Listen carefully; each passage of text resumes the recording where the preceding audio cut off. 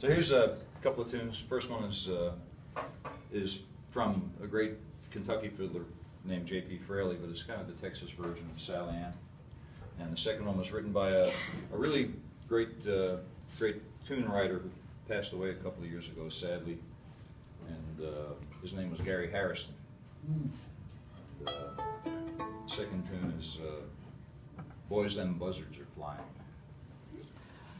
Another good visual. Woo!